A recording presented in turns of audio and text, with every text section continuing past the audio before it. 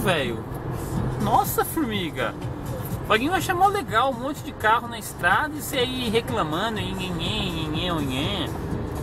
Ô, velho, você é meu amigo, não é, meu amigo? É ranzinza. É, nossa, qual o problema? Qual o problema? Qual o problema? Olha que legal, cara, os carros, um monte de gente na estrada. É um bom sinal quando todo mundo tá viajando, fofinho. É sinal? É um sinal de que as pessoas estão confiantes e elas podem passear, elas estão gastando um dinheiro que supostamente ficaria guardado no banco, entendeu?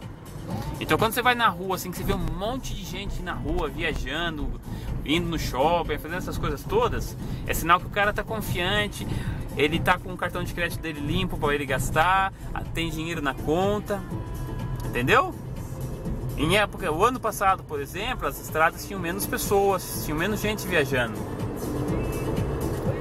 O aeroporto tinha menos gente, porque as pessoas não estavam com confiança de, de gastar dinheiro. Diz que em Miami, na Flórida, tem bastante brasileiro. Ah, aumentou pra caramba o número de, do gasto de cartão de crédito no exterior. Comprando iPhone 7. Uhum. Pra roubarem na rua, quebrarem. Uhum. Foda. Você viu em São Paulo, mesmo aqui na estrada, quando a gente tava indo pra São Paulo, só tinha carro bom. Uhum. Só tinha Range Rover. Sim, mas bem. Cruz. Mas se reparava que o pessoal tá dirigindo bem mal, que é cara que não tá acostumado com o carro ainda. Porque normalmente a gente já pegou essa estrada que os caras tava tudo voando baixo, 120, 100. Ah, Dessa vez não, dessa vez aquele monte de carro tudo empacando ali, 100, 110. Várias vezes tava estorvando a gente. Meu tio, que puta do Mitsubishi.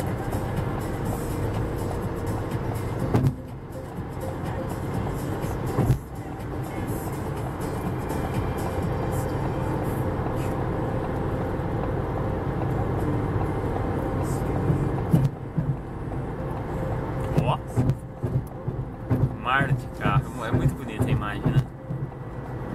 Nascer lá, né, o criança. Vai, eu falei com o Pe- Peter.